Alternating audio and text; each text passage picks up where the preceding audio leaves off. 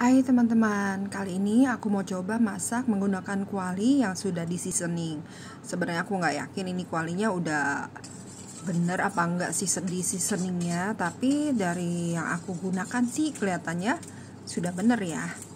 Aku pikir tadinya gagal, tapi ini beneran gak lengket sih. Enak banget digunakan.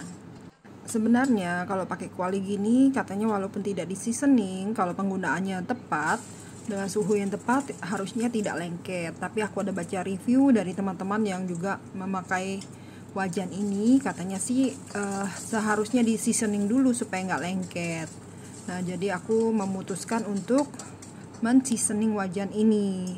Nah tapi kemarin prosesnya ada di video sebelum ini prosesnya aku tuh aku tuh nggak selesai seasoningnya. Jadinya karena kelamaan wajannya nggak berubah warna aku stop proses seasoningnya dan aku lanjut proses selanjutnya.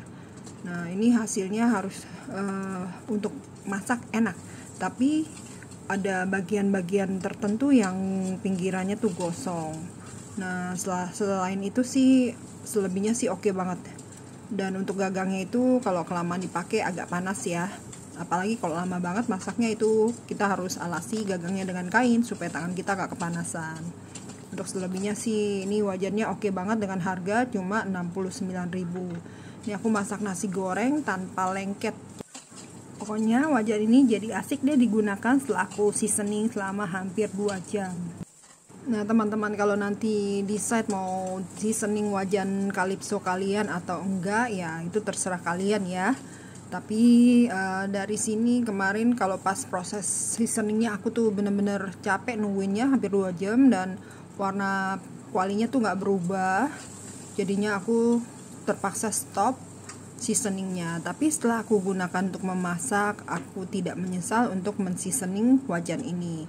Dan nasi goreng aku tuh jadi wangi banget aromanya tuh enak banget smoky smoky gitu setelah aku seasoning ya. Ini mungkin juga karena apinya panas ya. Memang kalau masak nasi goreng paling bener tuh pakai wajan begini jangan pakai pen anti lengket biar nanti hasil masakannya tuh lebih wangi dan enak. Nah teman-teman uh, nanti aku akan kasih video juga menggoreng ikan menggunakan wajan ini yang setelah di seasoning ya. Nah tuh dilihat tuh bener-bener nggak lengket loh. Tuh di pokoknya asik banget digunakan. Sebelum aku tahu cara ini aku males banget pakai kuali seperti ini karena suka lengket kalau untuk dimasak nasi goreng ataupun mie goreng. Nah, setelah aku tahu caranya ternyata memasak menggunakan kuali kuali begini tuh enak banget. Nah demikian video kali ini ya. Nanti nantikan video video dari Mace yang berikutnya ya. Sampai ketemu lagi